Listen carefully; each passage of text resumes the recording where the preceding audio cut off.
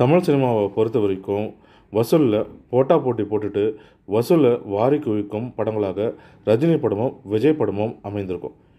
இவர்கள் படங்கள் வந்து அதிகமாக வசூல் வேட்டை செய்யும். இந்த இரண்டு பேருமே வந்து தமிழ் சினிமாவில் வசூல் மன்னனாக திகழ்ந்து வராங்க.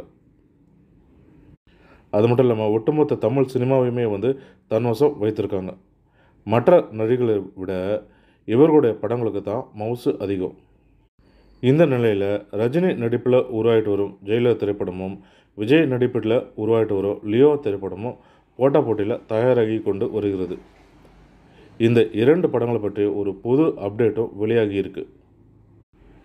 அது என்னென்னா ஜெயிலர் படத்தோட கேரளா தேட்டருக்கான உரிமை வெறும் நாலு கோடிக்கு போயிருக்கதாகவும் அதே போல் விஜயோட திரைப்படத்தோட கேரளா தேட்டரோட உரிமை வந்து பதினைந்து கோடி வரைக்கும் போயிருக்கதாகவும் தகவல்கள் வெளியாகிருக்கு ஏற்கனவே விஜய்க்கு கேரளாவில் ரசிகர்கள் அதிகம். குறிப்பாக பெண்களுடைய ரசிகர்கள் வந்து அதிகம்.